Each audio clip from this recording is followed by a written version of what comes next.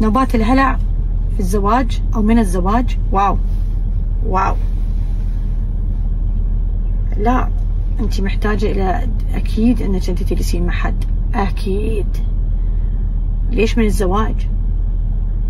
آه، هل لأن عنيف؟ يخوف؟ أو أنت حساسة تخافين؟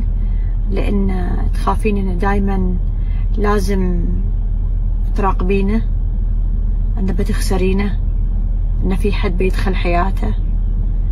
فعلى حسب في ناس نوبات الهلع على حسب حساسية الشخص وفي ناس لا على حسب severity يعني آه، مدى تعنيف الشخص الثاني لك.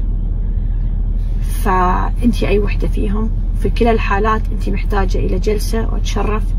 نبدأ فيها بالذكاء العاطفي نشوف من وين جاي وشو السبب وشو السبب الأصلي اللي متحكم ومسيطر فيك من الداخل. الله يحفظك يا حبيبتي.